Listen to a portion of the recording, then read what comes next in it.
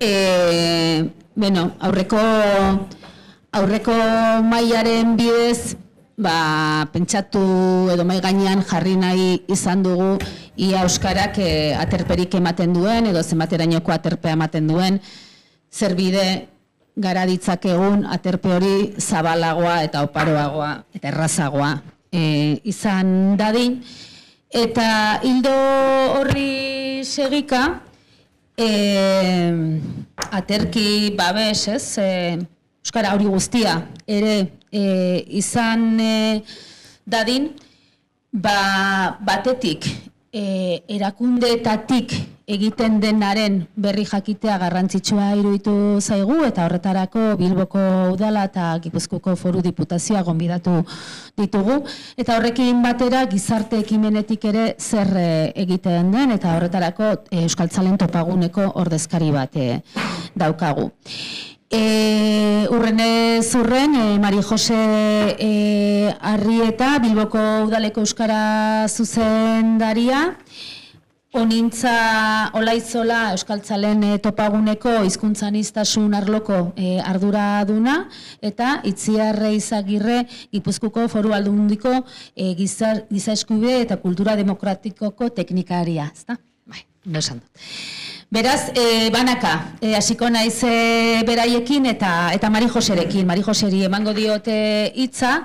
E, batez ere, bueno, Bilboko udaleko euskararen erabilera sustatzeko plan berrian jaso duzuelako etorkinekin euskara sustatzeko programa garatzeko asmoa, ezta? Honekin lotuta, e, eta uste dute Euskal Gintzati behintzat e, pentsatu eta gogo, gogoetatu behar dugun gauzetako bat dela, korapilo hori buruz aritzen garenean, Euskara eta Imigrazioa, eta beti e, oso eremu Euskaldunetan fokatze ote garen, ez? Eta pixkat bazterruzte ote dugun e, irigunea, eta, eta nola baite gainera, e, zera, ez? E, finean, e, immigrazio handieneko e, guneak, ez? Horregatik interesgarria iruditzen zaigu Bilboko udala e, hemen izatea, gure hiri nagusia e, den enean eta gaintzat harturik egiten ari zareten e, e, lana. Euskara sailaren eta immigrazio sailaren arteko elkarlan e, batetik E, bueno, azaldi guzu mesedez, ez? Zeintzu diren e, martxan duzuen egitasmo horren e, nondik norakoak. Bai. Bai. Bai. bai. Bai? Bale. Bueno, e, bueno, egunon, eta eskerrik asko, kontseiluari, gonbidapen hau gaitik, idurre, eta, bueno, beste pertsona batzu. E, e, bueno, poste naiz, e, beste bi maikide hauek ditu dalako, egia esan ez dugu alkarre zautzen, baina, bueno, e, uste dut zerbait interesantea egin dezakegula berton. Bueno, e, aurkezpenean esan duten bezala, ni euskera arlotik nator ez e, imigrazioaren arlotik. Orduan, e, gure ikuspegia, gai honi begira, beti izango da hizkuntzaren ikuspegitik. E, nik uste dut hori kontuan hartu behar dugula, ez garelako adituak beste arloan. Baina, e, nik uste dut badauka, badauzkagula gauza batzuk esan ditzakegunak, e, egia esan, e, aztertzen ari garelako, e, hau gai hau, e, az, azken urteotako kontua da batez ere, baina orduan gaur azalduko dizuet pizka bat, gu zertan ari garen e, e, honi begira, imigrazioaren, etorri berrien, badakigu batzuk ez direla hain berriak, e, gaur entzuten ari garenetik, baina batzutan horrela esaten dugu, etorri berriak, immigrazioa. Terminologia aldetik ez bana izoso oso zehatza ba, barkatu egia esan, eh? honetan badakit hemen daudela pertsona batzuk, ba, ikerketan dabiltzanak, e, gai hoiek alderdi ba, estadistikotik gaur entzun ditugun aurreko ponentzietan, aztertzen ari zaetenak eta behar bada gure terminologia ez da alde horretatik oso oso zehatza. E, bueno.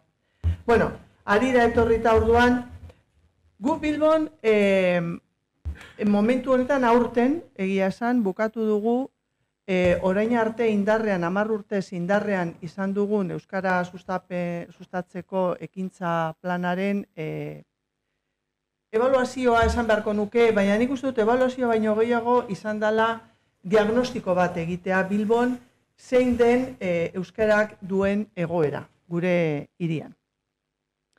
E, hori ezinbestekoa da guretzako, e, urrengo beste hamar urtetarako plan estrategikoa e, egin alizateko. Bai? Orduan, lan hori bukatu dugu, e, ontzungo bukatu dugun lan bada, orduan ezin izango dut gauza handirik aurreratu, e, oraindik orain e, aztertzen ari garelako.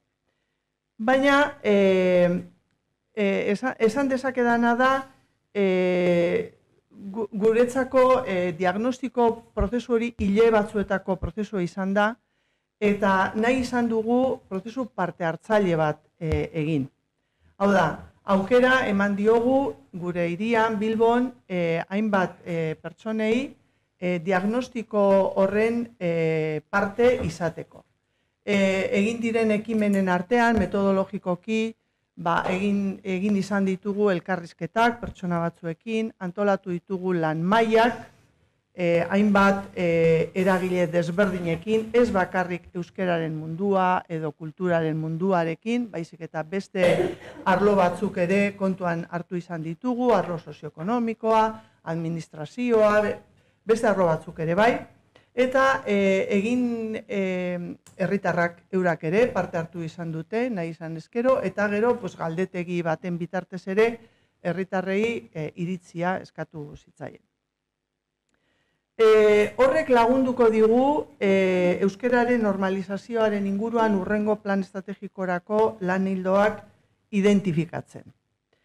E, badauzkagu, edo izan ditugu orain arte, eta gaur egunean ere, hainbat programa oraindik martxan daudenak, eta hoietako batzuk azken urteetan e, planteatu ditugu e, e, etorkinen e, umei begira, e, errefortzu e, programa batzuk, esate baterako, baina e, ikuspegia da, urrengo plan estrategikoari begira, naiz eta oraindik ondorio garbirik, e, ez da ezin dugun adierazi, e, esparru hori bereziki landu beharko dugula. Atera diren ondorioen artean, e, adibidez, e, e, esarri dugu ze ikuspegi jarri beharko dugu urrengo plan estrategikoan.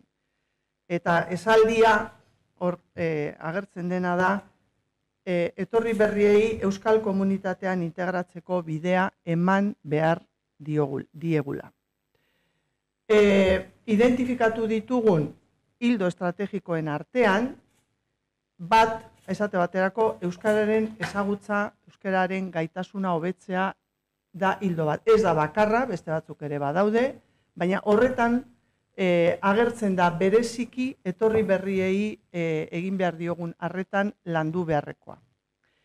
Horretan, helburu nagusia, ba, Euskararen transmisioa indartzea eta jabekuntza prozesua errastea. Egokitzea eta erakargi, erakargarri egitea. Gero eta euskal iztun gehiago eta iztun osoagoak lortzeko. Hor daukagu helburu nagusia jarrita. Lanildoetan batez ere zentratuko gara euskalduntze alfabetatze hildo horretan. Ba, euskaren euska, e, normalizazio prozesuan behar berri erantzuteko Euskara Eskola berezi eta espezifikoak eskaintzeko aukera aztertu eta landu behar dugu iriko Euskaltegiekin. Bereziki, hainbat kolektiboi begira, baina bereziki, adibidez, etorri berriei begira. Hori da esparru bat, hori da mm, daukagun informazio bat eta lantzen ari garena. Diagnostiko hori.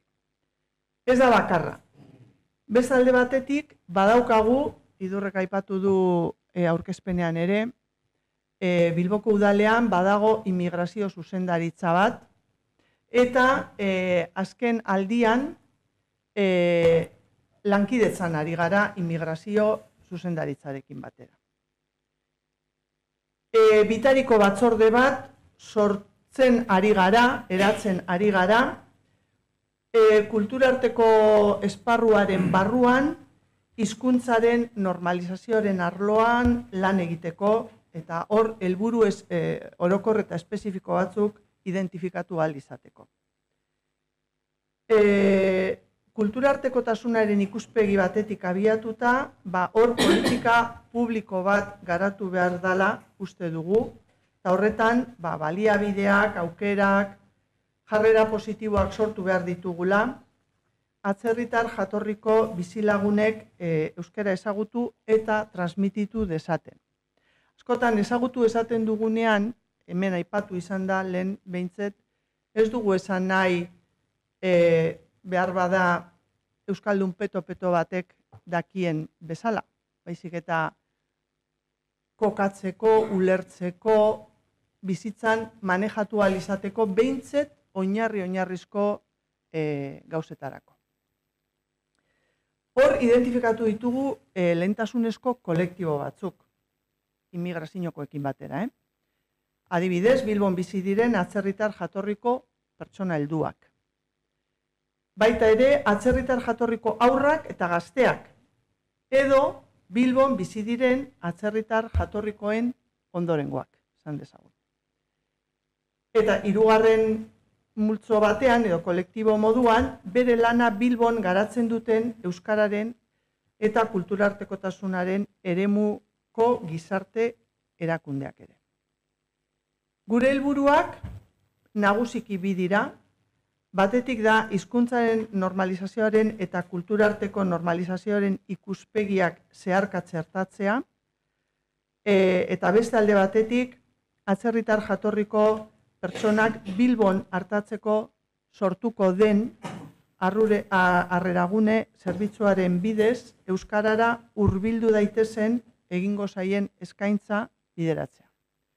Eta hoiek helburu hoiek nahi ditugu bai guk e, esan dudan bezala urrengo amarrutetarako prestatzen ari garen plan estrategiko horretan txertatu, alde batetik gure baliabide badalako, lantresna badalako plan hori, Eta beste alde batetik, immigraziotik daukaten, e, bueno, momentu honetan indarrean dagoena e, Bilbo kulturarteko iria hirugarren plana da, baina laugarrena prestatzen ari dira. Duan, helburu hauek, bai haiek eta bai guk ere, lanerako erabiltzen ditugun e, baliabide horietan txertatuko ditugu. Hortaz aparte, hirugarren aipamen moduan, e, zertan ari garen eta zer daukagun eskuartean komentatzerakoan, aipatu nahi nuke harreragune e, etorri berriei e, babesa eskaintzeko e, laister uste dut urte honen barruan e, zabalduko dan zerbitzua Bilbon bertan e, izango dalako eta esperientzia piloto moduan e, planteatu dena. E, elburuak, arreragune zerbitzu horren helburuak dire orokorrean esan da, migratzaileei orientazioa, laguntza, baliabide erabilgarriak eskaintzea, euren esarpen prozesuan bilbon. Egia esan, ematen du, oraindik ez dago ez da biatu, baina em, oso dagoela e, bideratuta, e, ba, hori, e, denbora gutxi e, daraman mm, jendeari oraindik ez dakit egokitze fasean egon daiteken jendeari. E, bueno, lankidetza publiko eta sozialaren arteko apustua egin da, e, zerbitzu hau antolatzerakoan.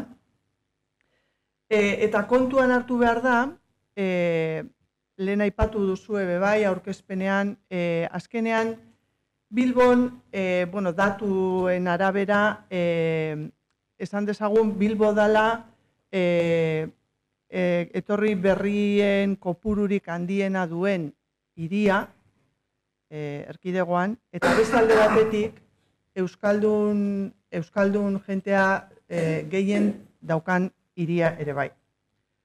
Orduan, e, arreragune zerbitzu horren bitartez, ba, gureak diren hizkuntza ofizialak e, ikasteko, ze, ez, esan nahi dut, euskera izango da, baina gaztelania ere bai, hainba jenterentzako, beste hizkuntza jatorrizko hizkuntza diferentea daukenentzako, Hor nahi da baliabideak eskaini eta errestasunak eskaini.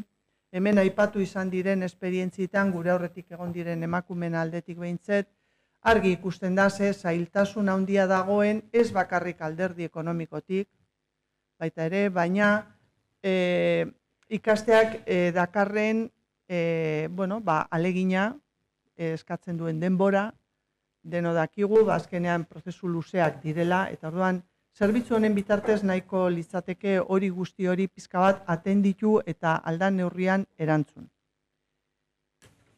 Bestalde batetik, e, jarri genuen martxan e, aurten, ikerketa bat, e, Euskara eta Migrazioa gaiaren inguruan. E, ikerketa hori begirune fundazioarekin, orkokideekin bideratzen ari da, gero okiko dugu aukera Xabierren e, azalpena entzuteko, Xabier aier direna. E, baina e, hor importantea iruditu zitzaigun jakitea e, bikote hau aipatzen dugunean Euskara eta Migrazioa, jakitea Bilbon ze realitate daukagun. Iria handia da eta e, oinarri sendoa beharko litzateke urrengo e, ba, politika publikoak edo abian jartzeko. E, ikerketa empirikoa egin eskero, ba horrek informazioa biltzen du eta oinarri sendo hori eskainiko digu ba, esku hartze, etorkizunean egin daitezken esku hartzeak e, argi ikusteko. Kulturartekotasunaren ikuspegitik hausnartu behar da, gai hau, baina kontuan hartuz, e, gure kasuan, adibidez, Euskara, babestu eta zabaldu beharreko hizkuntza dela. Horretan ari gara, Euskara zerbitzuetatik, Euskara e, zuzendaritzetatik, horretan diar dugu duela hamarkada batzuk. Bai? Orduan, hori kontuan hartu behar da, baina kontuan hartu behar dugu kasu honetan ere, eta horregaitik errealitatea komplejua da edo komplikatu egiten da, ba, jatorri atzerritarreko biztanle hoiek, pertsona hoiek, edo batzuentzat behintzet, e, euskera ikasteak ba, azkenean alegin gehigarri bat eskatzen duela eta kasu askotan euren beharrak oinarrizko beharrak beste batzuk izan daitezkela. Bueno, eta azkenik egiten ari garen honetan eta ez gehiagi luzatzeko e, aipatu nahi nuke be bai, Bilboko udalean badaukagu e, aspalditik, 2016tik e, egia san, e, Euskararen aholku batzordea. E, Oraingo agintaldian, hau da pasan urtean hasi zen agintaldian, erabaki genuen, bueno, batzordea berriztu egin zan, eta erabaki genuen e, imigrazio gaiarekin lotutako pertsona bat e, behintzat ekartzea e, batzordera. Badaude bat baino gehiago, baina ordezkari bat daukagu batzorde horretan, ba, e, imigrazio gaietarako Bilboko udalaren e, kontseiluko ordezkari bat daukagu. Eta hortik aparte batzordean planteatu ditugun lanketarako planteatu ditugun gaien artean agertzen da kultura artekotasuna. Hori da hain zuzen ere aurten bertan landuko dugun lehengo gaia batzordean eta fokua jarriko dugu galdera baten inguruan. Eta da, nola lortu Euskara gainerako kulturen eta hizkuntzen arteko zubi izatea Bilbon hemen zubi hitza aipatu eginda, e, eta guk uste dugu e, enfokea izan behar duela pizka bat alde horretatik. Bueno, nien naiz gehiago lusatuko barkatu, behar bada gehiagi egin dut. Ba, eskerrik asko. Mari Jose, e, Bilboko udalean egiten ari zareten horren berri e, ekartzeagatik, akaso gero izango dira galdera, baina lehen da bizi e, itziarri emango diote itza, e, bueno, e, Gipuzkuko foru diputazioan e, aurrera daramaten ibilbidearen berri eman e, diezaguten, hain zuzen ere e, Gipuzkuko foru aldundian e, gizasku bide eta kultura demokratikoko zuzendaritzatik e, anistasuna da lantzen duzuen alorretako bat eta horri loturik harrera komunitario integralerako e, gira liburu bat e, landua daukazue eta baita ere hizkuntzen hauzia ez? Hartzen den, aintzat hartzen den protokoloa ere horren baitan. E, horri buruzko xietasunak, ba, eskertuko genizkizuke. Bueno, ba, egunon denoi eta mil eskerre gonbidapenagatik. Aurreneko gauza egingo nukena izango litzateke e, gure e, zuzendaritza txikia kokatzea horrek ere pixkat markoa ematen duelako eta gaia aldundiaren barruan ere kokatzen duelako. Bestal ere e, guk erakunde moduan kudeaketaren inguruan, plangintzaren inguruan gatoz, baina beti ere eta hori aurretik mesedez, eh, eskubideen berdintasuna denontzat. E, zuei entzun da, aurreko mailan izandako guzti hoiei e, entzun da, e, neri burura etorri zait ariketa xume bat, eta zan, e, guazen denok e, begiak istera, eta pentsa dezagun areto honetan e, txurian izen bakarra e, naizela. Orduan, hortikan abiatuta, marko e, eskema mental hortatik abiatuta, nolabait e, abiatzen da nere, nere gaurkoa em, gure zuzendaritza, izen potol hori daukan zuzendaritza e, hori aldundiko txikiena da. Gea, zuzendaria eta eta ni nu. Eta, eta nien naiz immigrazio teknikaria gainera. Orduan, e, diputatu nagusiaren alorrean dago kokatua, eta, eta hainbat gai lantzen ditugu, memoria historikoa, bizikidetza, e, bueno, alor politikoari e, lotzen zaion e, bizikidetza hori, eta e, anistasuna. E, gu abiatzen dira beti ere, e, giza eskubideetan oinarrituriko enfoketik. Horrek orain ez du lekurik oso zabal izango litzatekelako, baina e, eskubiden berdintasunean azpimarra jartzen dugu beti ere.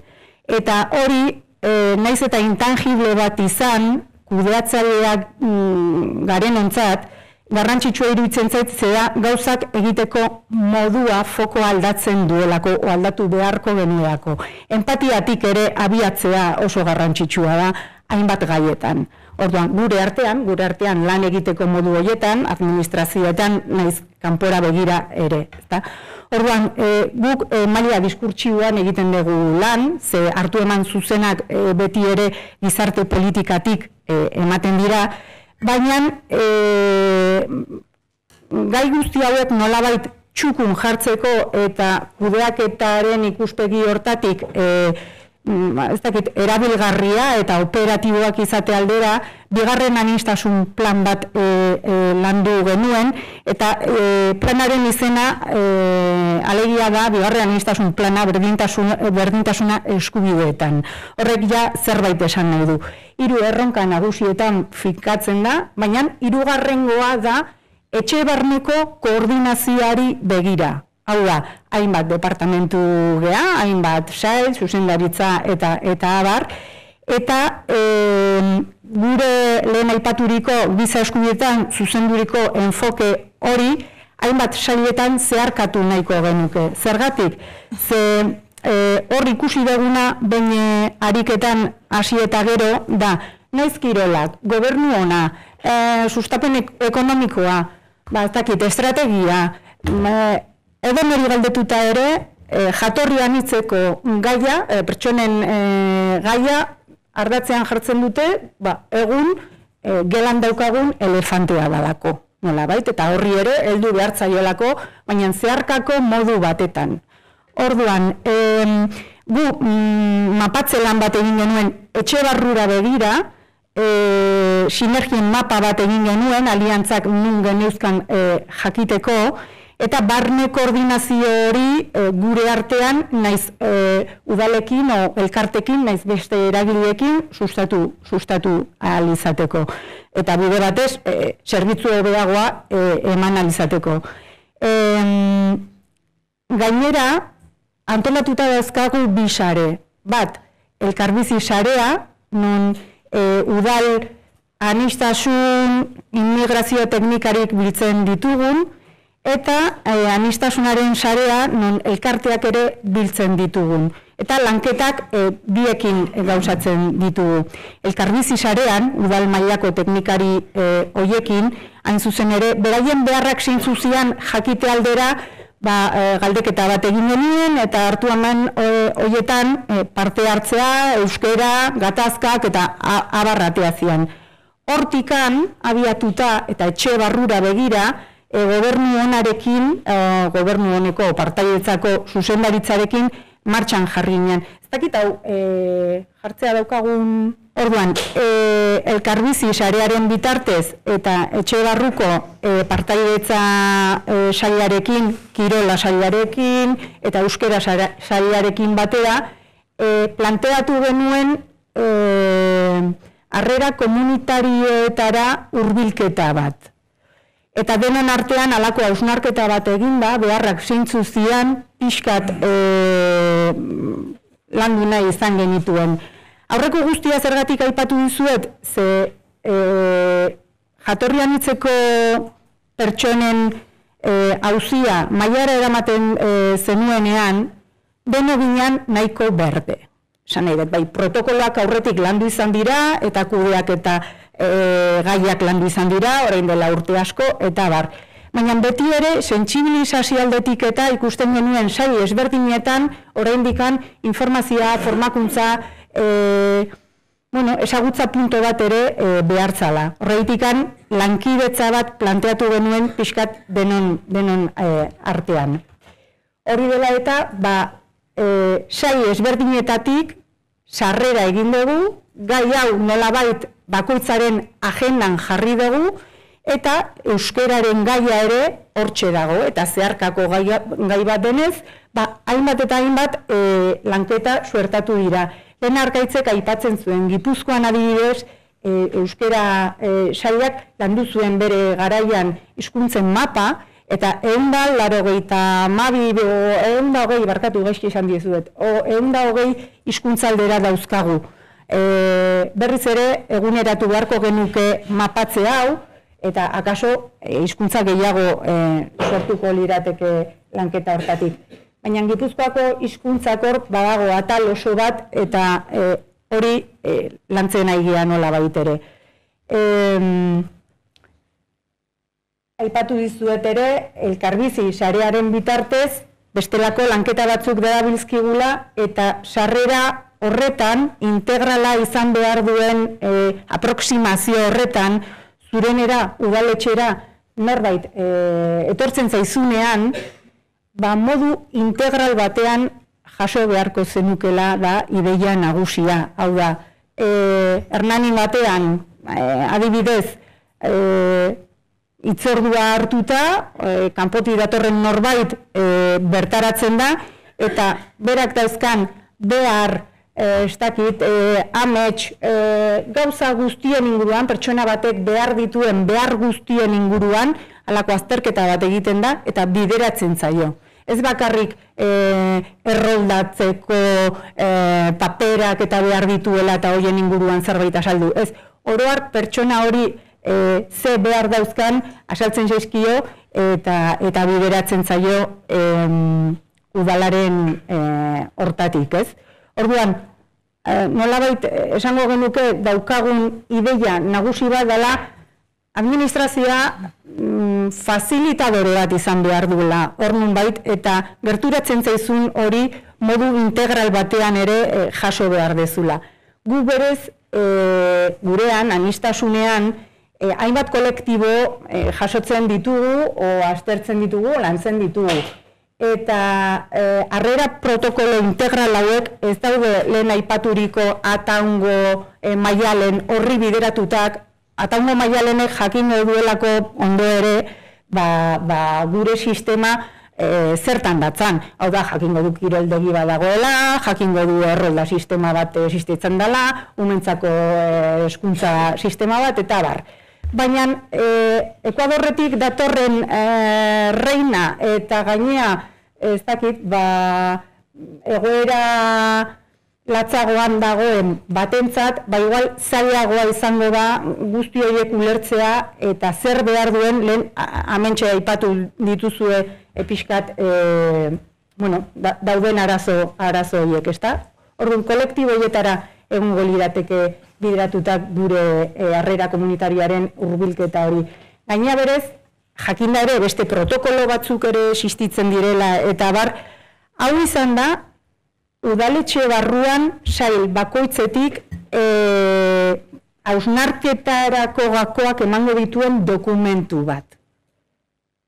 Orduan, hori beti ere, nire ustez, e, aurretik jun beharreko e, gai balditzateke, ez? Orduan, anistasunaren ikuspegiak printzipio nagusi batzuk dauzka, diskriminazio esa, anistasunean herritar aktiboa garatzeko prozesua sustatzea, ze beti ere, pentsatzen dugu, kanpoti datorrena gurera egokitu behar dela eta eta gure aldetik ere enfoke komunitario ikuspegi komunitario hortetik bertako komunitateak ere modu aktiboan jaso behar ditu e, kanpotik datozen horiek gurenera ekartzeko. Ze gauza bat da e, koexistentzia, non, bueno, ba, da, e, kanpotik datorren hori gurekin, bueno, aldamenean egon daiteke, tolerantzi badago, hor dago, bere gauzak egiten dituzte, hauek ere, ez dakito sondo zertan datzan, baina hori dako existentzia eta bat da elkarbizitza.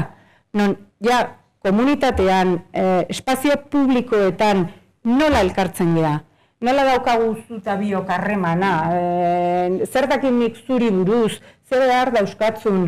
Zer gogo eta zer hausnarketa, ez? Hor, elkarbizitza bat eman dadin, eta elkar bizitza horretan adibidez euskera, bueno, ba, funtseskoa dan gai bat litzateke, eta horri bide eman behartzaio. Baina horretarako, komunitatean dauden baliabide publikoiek bintzat, e, ikuspegi hori txertatzen ote duten ere jakin beharko genuke. Orduan, dokumentu honek egiten duena da, e, hausnarketarako klabe batzuk eman, galdeketa batzuk e, proposatzen ditu e, bukaeran, eta hortikan abiatuta,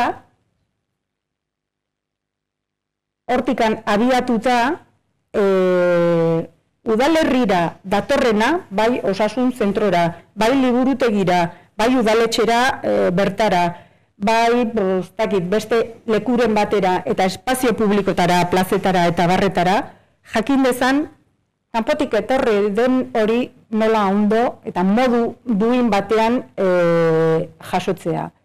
Ze azken finean, mm, bizitza proiektu bat gauzatu nahi duen horrentzako bizikalitate hobeagoa eskainia eskaini e, nahiko, nahiko genioke. Hori izan litzateke e, e, helburu nagusia. Takit asko luzatu gotena izan, gero ere e, ikusita daukagu ikusgunek ateratako barometroa, 2000 da hogei da irukoa, eta hor ere, e, lehen esan bezala, atxaldean saiera jerdik ere euskararen inguruan egingo ditu alako asmarketa batzuk eta bertako datuak ere oso, oso interesgarriak dira. Bi e, ikuspegi horiek txertatu nahi izan ditugu, hau da, e, giza eskubideetako enfoke hori, eta e, ekintza komunitarioaren enfoke hori. Beti ardatz hartuta, pertsonaren beharrari e, erantzun nahiko geniokela jakinda, jakinda. Eta hor noski, ber, askoz gehiago sakontzea legoke, baina euskera gitzarri bezala e, funtsezkoa da. Eta gaina lanketa ere e, euskerazko alorrarekin landuta dago eta gerora ere horrek ibilbide jakin badauka e, plangintzan esango genuke. Eta horrekin gero galderak edo bota nahi badituzue, pues, horrekin ustez nahikoa. Eskerrik asko. Ba, eskerrik asko itziar, eta bai, egia esan, e, nahiko justu gabiltze denboraz, orduan e, zalantzak edo galderak edo iradokizunak e, gerorako utziko ditugu, eta onintza ola izolari emango diotitza, lehen e, mai aurkezpenean e, aipatu dut, e, nolabait e, ez e, gizarte eragiketarako dudarik gabe instituzioen e, ekarpena ezinbestekoa dela, baina gizarte e, eragiletzatik datorrena ere e, funtsezkoa. Eta alde horretatik, e, bueno, Euskaltzalen topaguneak e, badauka hizkuntzan iztasunerako e, atal bat, horren e, arduradun zara, e, batetik, zein da, ez, e, zuek arlo honetan egin duzuen e, ibilbidea eta pixka bat eta gizarte mugimendu zareten enean baita ere galderaren e, bertan sartuko dut e, ze errestasun, zailtasun topatzen ditugu. Ez? E, nola baiteko gure dizarte egituretan. Vale, bueno, egurdi indeni, zaibateko niz labur-laburriten hitzartzia bakit gero baskaria etorrela, eta hori oso garrantzitsua da. Orduan, en, bueno, lehenik eta ben, eh, asiera eman nahiko nioke nire hitzartzei eh, eskerrak ematen, lehen rutek bere hitzartzia hola hasi du eh, eskerrak ematen espazio bat ematen batik handeaien hau ere bai, eta nik uste erakutsi egun guzti eta gero eskerrak eman berditugunak gu gehala, gure plano teorikoi eta ba, lur hartzeko leku bat eman diotelako, eta pixkal lurrea ekarri dituztelako. Eta, bueno, en, topagunetik ere, ba, pixkat hor kokatze da, ez da. En, aurreko maian aipatu da hainbestetan, ez da, bai celeste, bai rubak, bai lauak aipatu dute, ba, ze garrantzitsua da elkarrarremena, elkarbizitza, eta, bueno, hortikan, erregintzako eta eragile izate hortatik, ba, topagunetik hor e, hor kokatzera, gai honen kudeaketan. E, bueno, aipatu neko nuke ni en, topaguneko izkuntzan izasuna eta euskera ustartze ditun egitasmoen ardura duna naizela, urte asko izan naizela baita e, pertsona errefusiatuta silo eskatzaileen harrera gile, gizarte lan gile, eta bueno, e, hortik handatorrela pixkan nire lan iteko markua eta topagunetik nola bideratzea e, gure egitasmok. Arrera idago kionez, e, guk arrera unibertsal baten siniste dugu, uste dugu e, bai gure alboko herritik datorren nahi, bai e, Espainia, Frantzia inguruko herrialdetatik edo eta Europa zara eta gautik datosten guztiri inbertzaiela arrera. Edo zein aukera izan daikela izkuntzo itura aldatzeko, egokitzeko, euskarare, euskarara arrera egiteko e, aukera hon bat. Eta, bueno, en, bai ikuste duguna da noski, lehen aipatu den bezala, harrera unibertsal horren ondoren, ba, bueno, en, bakoitzak daukan errealitatean arabera, ba, zehaztapenak izan behar ditula harrera horrek.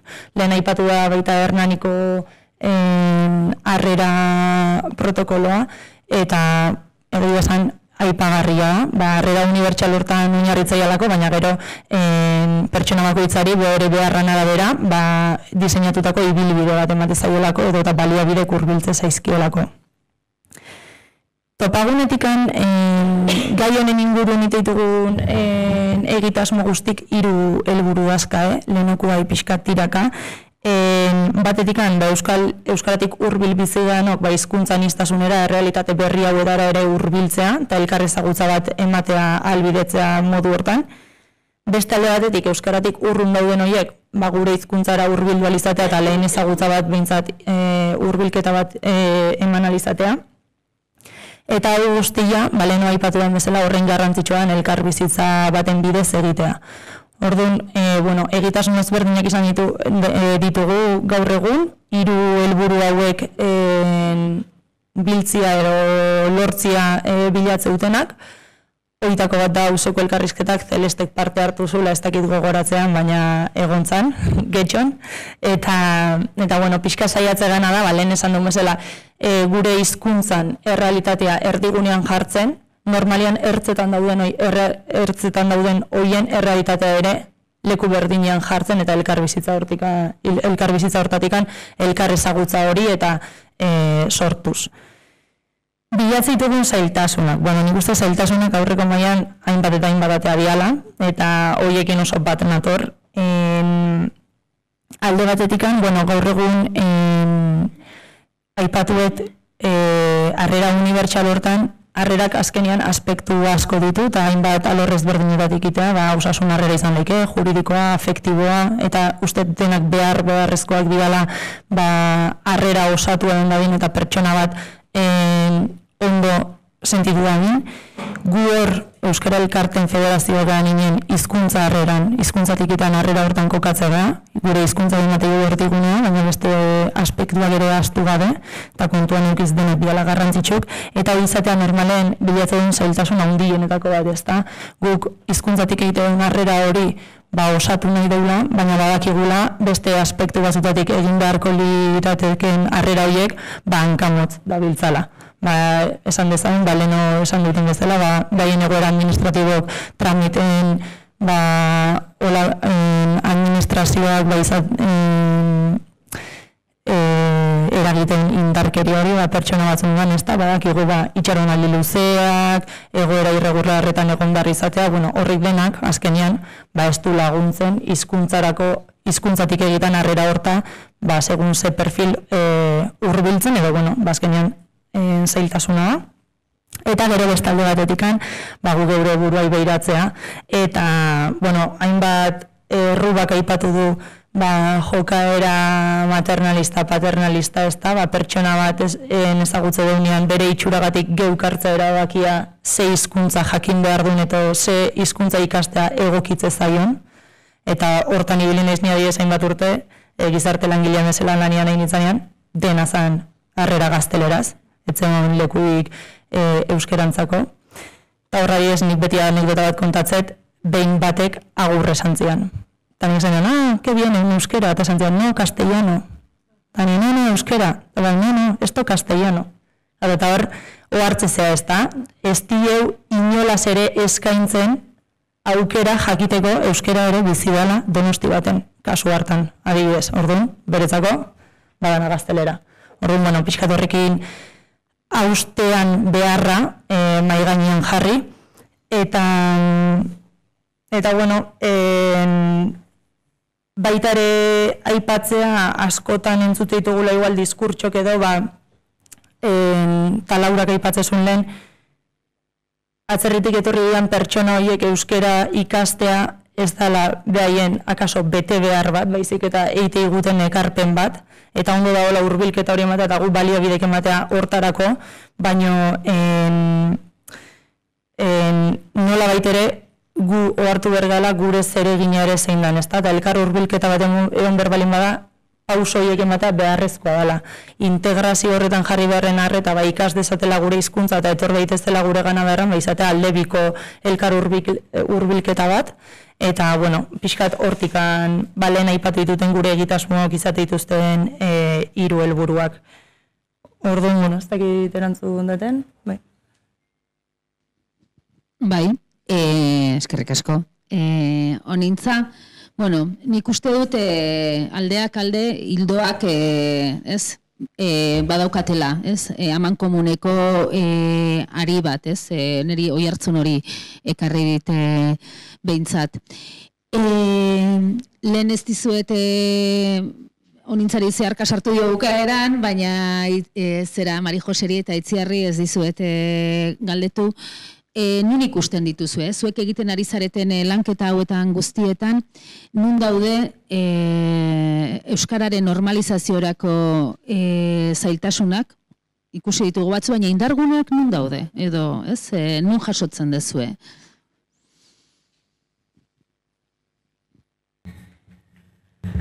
Bueno, indarguneak, azteko nire ustez, e, plano plano lokalean daude, esan izut. E, bertako komunitateek, nola bait, honen gainean ohartzen diranean, naiz ikastoletan, ze, klar, aberre, oso denbora gutxian azaldu dugu, baina e, ikastoleekin eta beste eragileekin guk e, hartu emanak dauzkagu, plangintzak dauzkagu, eta bar. Eta e, jendea biltzen dan toki hoietan eta euskaldunak diran komunitate hoietan, e, arrera egitea euskeratik asko zerrezagoa izaten da. Orduan, e, zentzu horretan nire ustez potentzial handia daukagu.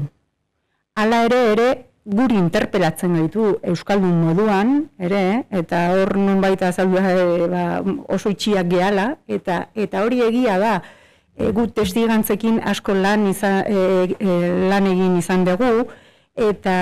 E, tarana daukagu Azerbaianeko e, lankide bat, bera musulmana da, tolosaldean bizi da, eta euskaraz primeran egiten du. Eta topagunean, e, bueno, saio bat egin genuenean, orain dela bi urte, udal euskera teknikariekin, arek esaten zuen, ni, ni e, iritsi naiz, eta e, onartua naiz, nolabait, naiz eta beloa eraman, eta bar, Baina e, euskerak ez dit balio izan igo gailu sozial bezala. Ni jarraitzen dut egiten egiten nuena. Orduan, hor e,